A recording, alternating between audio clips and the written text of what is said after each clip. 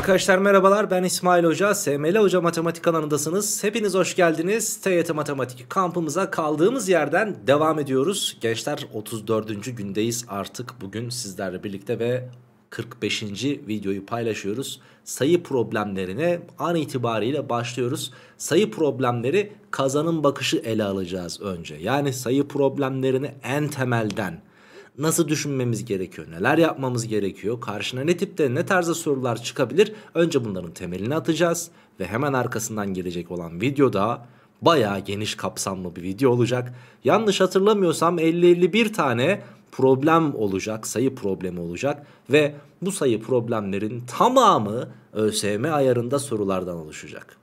Bence çok heyecanlı. Evet gençler kampımıza Barış Yayınları TYT video ders kitabından ilerliyoruz ve video ders kitabımızda sevgili arkadaşlarım almak isteyenler açıklama kısmında satış linklerini bulabilirler. Tek tıkla 1-2 gün içerisinde ellerine ulaşacak şekilde satın alabilirler arkadaşlar. Evet eğer hazırsak geçelim derse. Sayı problemlerine başlıyoruz eğer hazırsanız kazanın bakış 1. İki pozitif sayının toplamı bu iki sayının farkının 5 katına eşittir. Şimdi bu ne demek? Bunu biz matematik diline çevireceğiz. İki tane pozitif sayı. Birine x, ötekine y diyelim. İşte bunların toplamı birine x, ötekine y dedim. İşte bunların farkının hop farkının 5 katı olduğu için parantezi çarpıyorum 5 ile. Ve bu buna eşitse evet artık eşittir diyebiliriz. Şimdi denklemimiz bu aslında. Bundan bir sürü yorum çıkarabilirsin. Mesela x artı y dersin. 5'i içeri dağıtırsın. Dersin ki 5x eksi 5y. Y'leri bir tarafa x'leri bir tarafa toplarsın. Bu senin ne işine yarar? 6y eşittir 4x dersin. Hatta bir de bir güzel 2 ile sadeleştirirsin. 3y eşittir 2x de dersin. Sonra dersin ki hocam işte demek ki y 2'nin bir katıymış. x de 3'ün bir katıymış. Ya da katı olmasa dahi y 2 ile x 3 ile orantılıymış yorumlarını yapabilirsin. Tamam. Pekala kazanım bakış 2'ye bakalım. Bir sınıftaki öğrenciler sıralara ikişerli otururlarsa 7 öğrenci ayakta kalıyor. Öğrenciler sıralara üçerli otururlarsa bir tane sıra boş kalıyor. Ve sınıf mevcudu. Sınıf mevcudunu bana verecek olan şey burada sıra sayısı ve onu da bilmiyorum. Hemen diyorsun ki hocam sıra sayısı. Sıra sayısı ne olsun? X olsun. Pekala. Şimdi bu sıralara sıra sayımız x ya. X tane sıramız var. İkişerli oturtalım bu öğrencileri. Böylelikle her sıradaki kişi oturacağı için 2x kişi oturuyor. Ve 7 kişi de ayakta kaldı. İşte sana sınıf mevcudu. Sınıf mevcudu. Biz bunu arıyoruz. Peki üçerli otururlarsa bir sıra boşta kalıyor. Hmm. Bir tane sırayı boşta bırakalım. X eksi bir tane sıraya oturan öğrenciler var ve her biri üçerli oturuyor. İşte bu da artık sınıf mevcududur diyebiliriz. Buradan ben x'i yani sıra sayısını bulursam sınıf mevcuduna da erişirim. 2x artı 7 eşittir 3x eksi 3 dedim. Buradan x eşittir 10 geldi. x 10'muş arkadaşlar. Peki artık buradaki mevcut dediğimiz kısımlardan herhangi bir tanesine x'i yerleştirip cevabı bulabiliriz. Mesela şurada 10 yazarsan burası 9 olur. 3 kere 9 27'dir. Veyahut 2 kere 10 20 artı 7'den cevap 27'dir diyebilirsiniz. Evet kazanım bakış 3'teyiz. 57 kişilik bir sınıfta Kız öğrencilerden her birinin kız arkadaşlarının sayısı erkek arkadaşlarının sayısının 3 katından 4 eksiktir denilmiş. Şimdi sınıfta x tane kız olsun. x tane kız ve 57 eksi x tane de erkek öğrenci olacaktır. Ne kadar az değişken o kadar iyi. Y tane erkek olsun da diyebilirdim tabii ama bir tane değişken olsun istedim. X tane kız ve 57 eksi x tane erkek öğrenci varsa bir tane kızı seçtim. Bu bir kızın x eksi bir tane x eksi bir tane kız arkadaşı vardır. Kız arkadaşı. Ve yine bu bir kız öğrencinin doğal olarak 57 eksi x tane erkek arkadaşı vardır. Tamam. Sebep çünkü kız öğrenci olduğu için kendi kendinin arkadaşı olmayacağından bir tane eksilttim kız, kız sayısını ve x eksi bir tane kız arkadaşı vardır dedim. E, o kızın zaten kendi cinsiyetinden olmadığı için de 57 eksi x tane erkek öğrenci erkek arkadaşı vardır diyebiliriz. Peki ne demişti bize? Kız arkadaşlarının sayısı yani x eksi 1 erkek arkadaşlarının sayısının 3 katından 4 eksiktir demişti ki bunlar birbirine eşit demek ki. x eksi 1 eşittir 4'ü değil 3'ü içeri dağıtıyorum. 3 kere 57 de e, bana 171'i verir. 171 eksi 3x eksi 4 dedim. Şimdi eksi 1, eksi 4 şurada eksi 3 kalır. 171'den 3'ü çıkardım ve burası 168 oldu. Eksi 3 x'i sol tarafa davet edersem 4x olur. 4x 168 ise x tabii ki de 42'nin ta kendisidir. Şimdi bu sınıfta kaç tane erkek öğrenci vardır diye sorulmuştu. 57'den 42'yi çıkarırsam erkek öğrenci sayısını bulurum ki cevap 15'in ta kendisidir. Devam kazanım bakış 4. Bir tel 6 eş parçaya ayrılarak şekilde e, ayrılacak şekilde kesiliyor. Eğer bu tel 9 eşit parçaya ayrılsaydı her bir parçanın uzunluğu ilk duruma göre 8 santim kısa olacaktı. Şimdi 6 eş parçaya ayırdığımızda her bir parçanın uzunluğuna x demiş olalım. Böylelikle bütün telin e, uzunluğu 6x olur. 9 eşit parçaya ayrıldığında ise her bir parça 8 santim daha kısa oluyormuş. O zaman 9 çarpı x eksi 8'dir tüm telin uzunluğu. Ve bunlar tüm tel uzunlukları olduğu için birbirlerine eşittir. 6x eşittir 9x eksi 72 dedim. Buradan 72 eşittir 3x geldi ve x eşittir 24'ü elde ettik. Pekala telin uzunluğu soruluyor. Telin uzunluğu bu veya buydu. Ben istediğimde yerine yazacağım. Hadi gel şurada yerine yazalım. 6 kere 24 144 yapar. Cevabımız buydu sevgili gençler. Kazanım bakış 5'teyiz artık. 100 kişilik bir tiyatro salonunda biletler 150 ve 250 liradan satılmakta. Biletlerin tamamı satıldığında 18.500 lira kazanç elde edildiğine göre kaç tane 250 liralık bilet satılmıştır? İki yol sunacağım sana. Birinci yol. Birinci yol. Peki x tane bilet x tane bilet 250 liradan satılmış olsun. Tamam mı? Ee, doğal olarak 100 eksi x tane bilette 100 liradan satıl satılmıştır, satışa sunulmuştur falan diyebiliriz. Pekala elde edilen gelir ne? 250x e, buradan elde edilir. Ve 100, 100 değil 150 lira şurası arkadaşlar. Şurası 150 olacak. Kusura bakmayın. 150 TL ve 150 çarpı 100 eksi x toplarsam bana 18.500'ü verecekmiş. Pekala şimdi burada 250x var ve şurada eksi 150x'ten 100x gelir. 150 kere 100 de bana 15.000'i verir.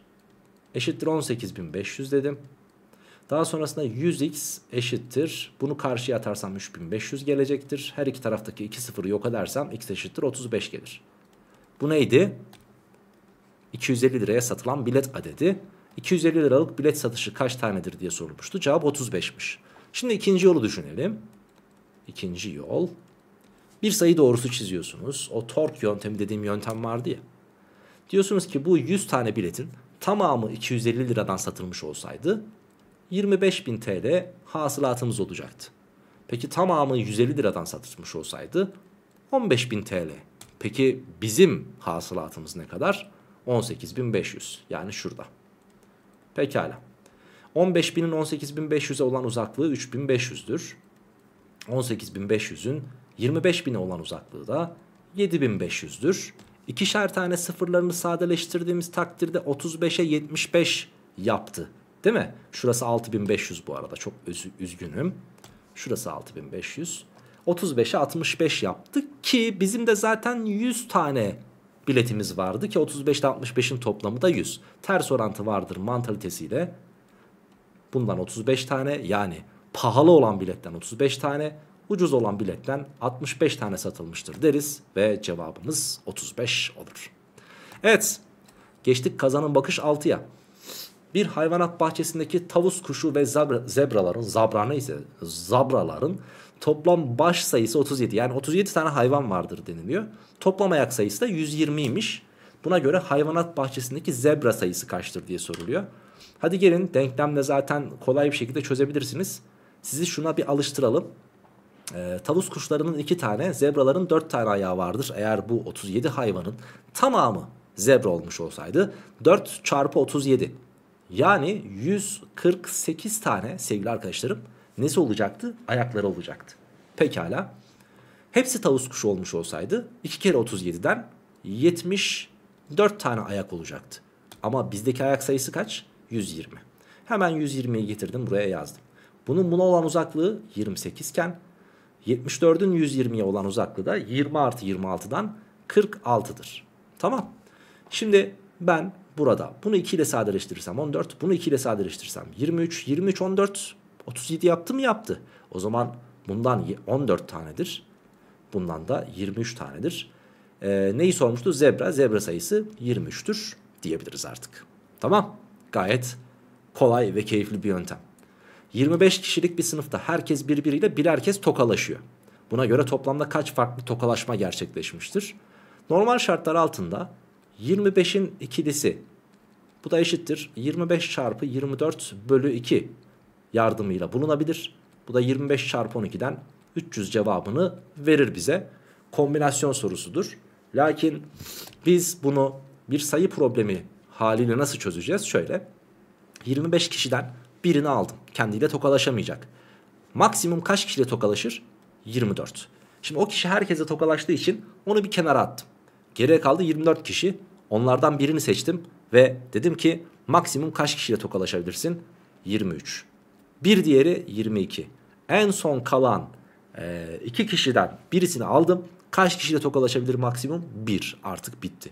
İşte bu kadar tokalaşma vardır ve birden 24'e kadar olan sayıların toplamı da 24 çarpı 25 bölü 2'dir. Yani şunlar giderse 12, 12 kere 25 de bize 300 cevabını verecektir sevgili gençler. Aslına bakarsanız ikisi de aynı şey olduğunu net bir şekilde görebilirsiniz. Kazanım bakış 8. 80 soruluk bir sınavda 4 yanlış bir doğruyu götürmektedir. Her netin puan değeri de 4 puandır.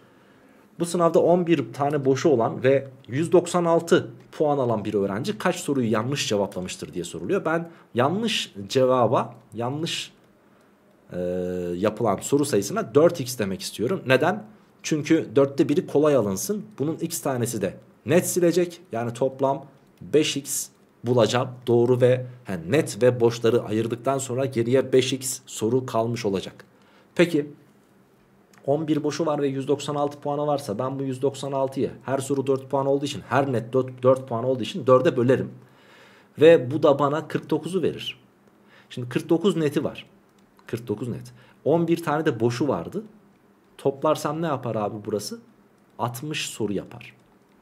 Bu sınav 80 soruluktu. 80 sorudan 60 soruyu çıkardım. Geriye kaldı 20 soru. Bu 20 soru 5x'e eşittir. x buradan 4 soruya tekabül eder. Ve benden yanlış sayısı istenmişti. Şu.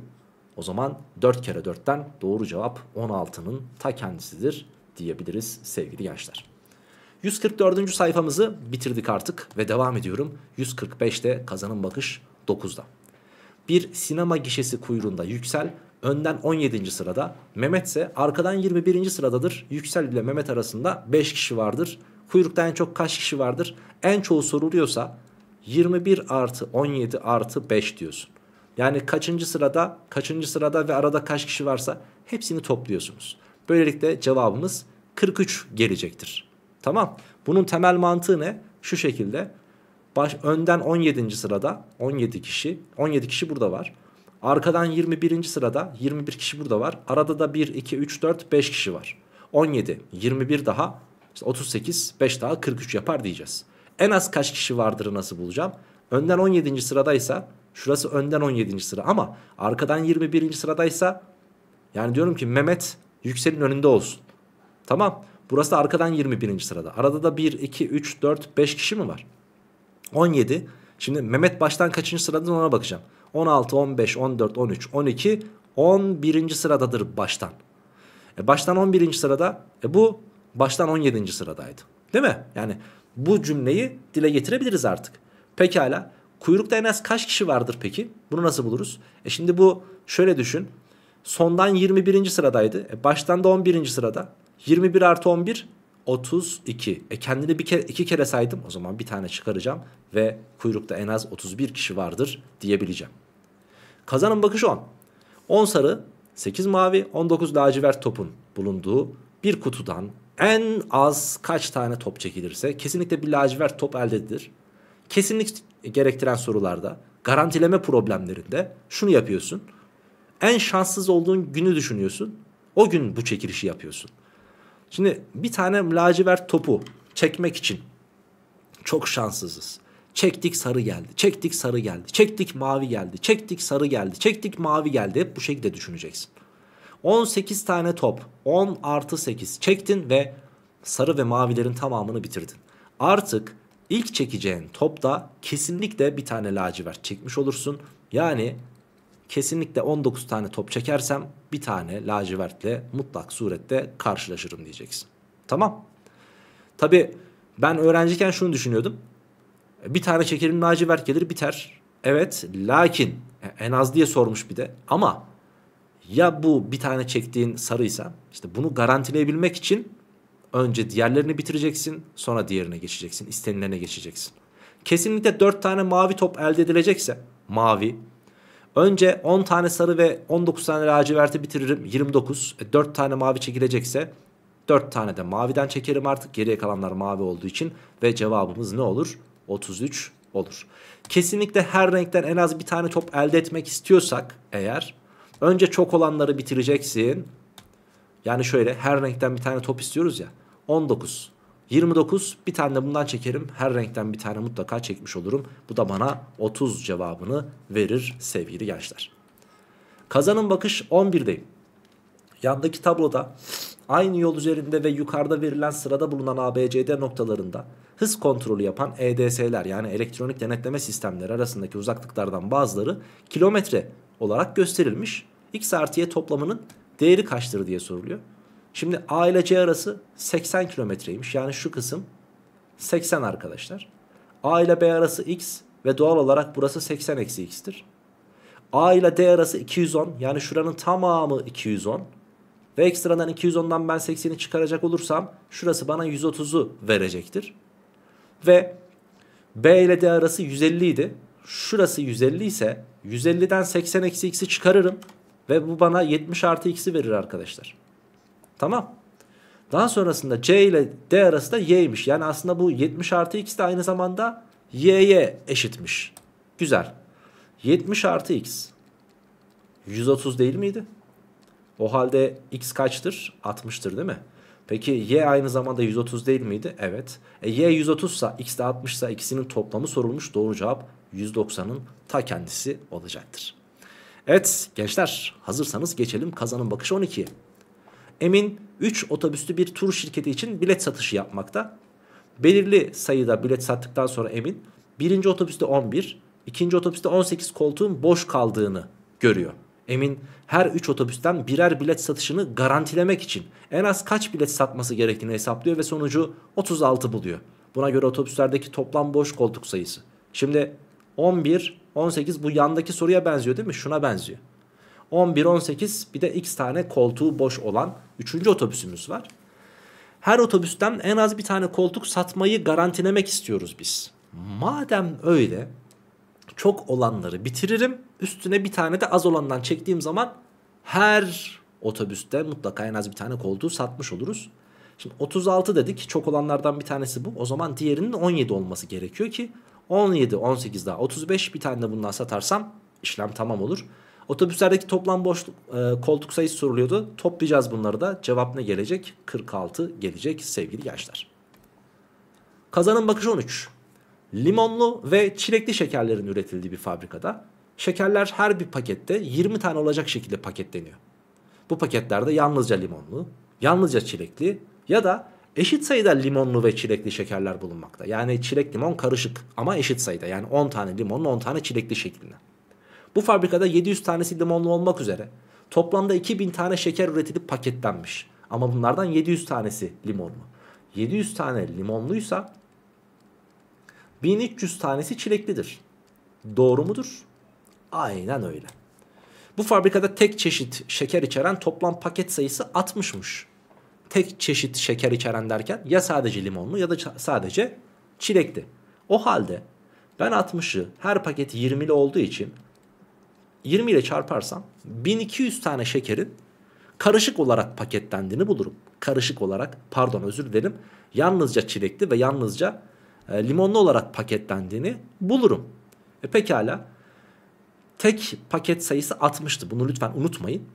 Yalnızca çilekli şeker içeren paket sayısı soruluyor bize. Şimdi 1200 tanesi eğer 1200 tanesi tek çeşitse 800 tanesi 800 tanesi çilekli ve limonlu karışık değil midir? Evet yani 400 limon ve 400 tane çilekli tek pakette karıştırılmış. Tamam. Madem öyle 400 tane limon ve 400 tane çilek yazacaktık şuraya. 400 tane çileğin e, karışık paketlendiğini biliyorsam bundan 400'ü çıkarırım ne gelir? 900 mü? 900 tanesi tek bir yerde kendi aralarında paketlenmiştir. Her paket kaçlı paketti? 20'li. O zaman ben 900'ü 20'ye bölersem 45 cevabını bulurum. 45 tane paket sadece çilekli. Hatta şunu da bulalım. 400'ü çıkardım 300. 300'ü gittim 20'ye böldüm. 15 paket sadece limonlu ve 60 paket oldu mu bak 15 60 aa 15 45 60 mis. Diğerleri de zaten karışık paketlenmişti diyebiliriz. Evet kazanın bakış 13'ü de bitirdiğimize göre artık 145. sayfanın da sonuna geldik ve geçtik 146'ya 14. kazanın bakıştayız. Bir okul müdürü biraz hastayım kusura bakmayın lütfen. Bir okul müdürü pazartesi günü okulun bazı öğrencilerine bu iletiyi alan her öğrenci ertesi gün iki öğrenciye göndersin notu içeren bir elektronik posta gönderiyor. İletiyi alan öğrenciler bu notta yazılanı uygulamışlar. Aynı haftanın cuma günü sonunda bu ileti okuldaki tüm öğrencilere ulaşmış ve her öğrenci bu iletiyi yalnızca bir kez almış. Yani sen bana gönderdin ya ben de bunu iki katı öğrenciye gönderirken sana tekrar göndermiyorum. Tamam benden gelenden farklı kişilere gönderiyorum. Pekala. Okuldaki öğrenci sayısı 1860 olduğuna göre bu ileti başlangıçta kaç öğrenciye göndermiştir? Başlangıçta en öğrenciye giderse pazartesi günü. Salı günü 2 en öğrenciye gönderecek. Bu en öğrenci 2 katı öğrenciye gönderecek. Diğer gün çarşamba günü 4 en. Perşembe günü 8 en ve cuma günü 16 en kişiye gönderilir. Ve bunların toplamı da bana 31 eni verir arkadaşlar. Ve bu 31 en 1860'ın ta kendisidir. Peki ben 31'i neyle çarparsam 1860 yapar? 1860 yapar tabii ki 60'da. Yani neye kaçmış 60. Bizden ne isteniyordu?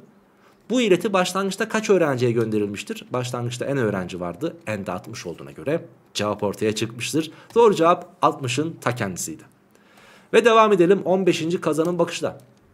Bir laboratuvarda erkek ve dişi kobay fareler üzerinde yapılan bir ilaç deneyi ile ilgili aşağıdakiler bilinmektedir. Erkek farelere erkek fareler her 8 saatte dişi farelere ise her 6 saatte bir tablet ilaç veriliyor. Mesela erkek farelere bir günde bir günde kaç tablet ilaç verilir? 3 tablet. Değil mi? 3 tablet. Dişi farelere bakalım. Dişi farelere de bir gün içerisinde 6 saatte bir dediğine göre 4 tablet ilaç verileceğini söyleyebiliriz. Pekala. Ne demişti? Erkek farelere 1,5 gramlık, dişi farelere 2 gramlık tabletler verilmiştir. O zaman erkek fareler bir günde 4,5 gram tablet ilaç alıyor. Dişi fareler 2 gramlıksa 8 gram ilaç alıyor. Bu farelere bir günde toplam 165 gram ilaç ve 90 tablet e, halinde verilmiştir. Deneyde toplam kaç fare kullanılmıştır diye soruluyor. Şimdi şöyle diyeceğiz. Toplam x tane erkek olsun. Y tane de dişi olsun. X tane fare, erkek fare. Her biri günlük 4,5 gram mı alıyor? O zaman 4,5 çarpı x artı 8 çarpı y eşittir 165 gram yapıyormuş. Ve 3 tablet kaç tanesi x tanesi 3x artı 4 tablet kaç tanesi y tanesi 4y eşittir kaç tablet 90 tablet. O zaman ben şunu 2 ile çarparım ve derim ki 6x artı 8y eşittir 180. Sonra da efendim şundan şunu bir güzel çıkarırım. 6x'ten 4,5x çıktı 1,5x 8y'ler gitti. 180'den 65, 165 çıkarsa 15 gelir ve x'in ben burada 10 olması gerektiğini anlarım. x 10 sa şurası 45'tir. O zaman şurası 120 olmalı. Y kaçtır? 15'tir. Y de 15'miş. Şimdi 10 tane erkek ve 15 tane dişi varmış. Toplam 25 tane fare kullanılmıştır diyebiliriz sevgili arkadaşlar bu sorumuzun cevabına. 15'i de bitirdiğimize göre artık 16. kazanım bakış için sağ üst tarafa geçiş yapabiliriz. Bir restoranda iki pide menüsü alana bir sinema bileti hediye edilmekte. Sinema gişesinde satılan bir sinema biletinin fiyatı bir pide menüsünün fiyatından 50 lira fazladır. Şimdi pide x lira, sinema bileti ne kadarmış? x artı 50 liraymış. Pekala. Birlikte sinemaya giden 6 arkadaş bu restorandan 6 menü alarak 3 hediye bilet kazanmıştır. 6, 6 tane pide alarak 6 ekstra para vermişlerdir. Doğru mu? Ve 3 tane de sinema bileti hediye olarak gelmiş. Ama Bunlar 6 kişi olarak sinemaya gitmek istiyorlar. 3 tane bilet var. 3 tane daha almak zorundalar. 3 bileti de sinema kişisinden almışlar. Yani 3 çarpı x artı 50 lira mı öderler? Toplam ödedikleri tutar 870 liraymış. Pekala. 6x artı 3x artı 150 dedim. Eşittir 870. Buradan 9x eşittir 720. X eşittir kaç gelir? 80. Ama bu 80 liraysa sinema bileti 130 liradır. Benden ne istiyor? Bir sinema bileti kaç liradır? 130 liradır arkadaşlar. Tamam saygılar. Geldik efendim kazanın bakış 17'ye. Duygu iş yerinde çalışan personel bilgilerini kaydetmek için ad, soyad ve doğum tarihi sütunları bulunan ve 100 satırdan oluşan bir tabloyu dolduracak. Duygu tabloyu doldurduğunda ad sütununda 20, soyad sütununda 26 ve doğum tarihi sütununda 36 satırda hata yapıyor. Hata yaptığı her personele ait bilgilerde yalnızca bir sütunu doğru olarak doldurduğu görülüyor. Demek ki iki sütun yanlış. Yani hata yaptığı kişilerde ikişer sütun yanlış. Toplam hata sayısı ne hocam? 20, 26 etti 46. 36 daha 72 mi yapar? Değil mi? Yanlış yapmadık herhalde bakalım. 20, 46, 82 yapar. 82 kez hata var. 82 tane bilgide hata var. Ve hata yaptığı kişilerde ikişer sütun hatalı. O zaman kaç kişiye hatalı bilgi girdiğini nasıl bulurum? 2'ye bölerim. 41 kişininki hatalı abi. 41 kişi hatalı. Buna göre Duygu'nun tüm bilgilerini doğru olarak kaydettiği personel sayısı e, 100 kişi vardı. 100'den 41'i çıkarırsam 59 kişinin tüm bilgilerini doğru girmiştir Duygu hanımefendi diyebiliriz gençler. Evet geldik son sorumuza. Elif boncuklar ve pullar kullanarak bir kumaş üzerine tek sıra halinde işleme yapmış. Bu işlemenin bir kısmında 6 boncuk bir, bir kısmında da 7 boncuk kullanmış. Aynı şu şekilde. Ve motifler var. Yani 6 boncuklu motif, 7 boncuklu motif ve iki motif arasına da mutlaka bir pul atmış arkadaşlar. Şöyle de bir pul düşünelim tamam mı? İki motif arasına da pul koymuş. Motifle başladığı işlemeyi tık tık tık tık tık yine motifle bitirmiş arkadaşlar. Tamam mı? Ve ne yapmış? 184 tane boncuk ve pul kullanarak 25 tane motif oluşturmuş. 25 motif varsa bunların aralarında 24 boşluk oluşur ve 24 pula tekabül eder. 184'ten hemen 24 tane pulu çıkarırsam 160 tane boncuk olduğunu buluruz. 160 tane boncuk. Güzel. Elif'in 7 boncuk kullanarak oluşturduğu motif sayısı. Şimdi iki türlü çözelim yine. Yine iki türlü çözelim. X tanesinde 7 ve e, kaç tane bizim motifimiz vardı? 25. 25 eksi x tanesinde de 6 tane kullanmış olsun boncuklardan. Toplam kullanılan boncuk sayısı 7x artı 150 eksi 6x yapar ki bu da kaçmış? 160. O halde x eşittir bunu karşı atarsam 10 gelir. 7 boncuk kullanarak oluşturduğu motif sayısına x demiştim. x'imiz 10 geldi. Hayırlı işler. Cevap 10. İkinci bir yöntem Hemen bir tane sayı doğrusu çizeceğiz gençler. Şöyle yapalım bir üst sayfaya. Heh. Hemen bir tane sayı doğrusu çizdim. Tamamını eğer 7 boncuklu motiflerden yapmış olsaydı 25 tane motif vardı ya 25 kere 7'den 175 tane boncuk kullanırdı. Tamamını 6 boncuklulardan yapmış olsaydı 6 kere 25'ten 150 olurdu.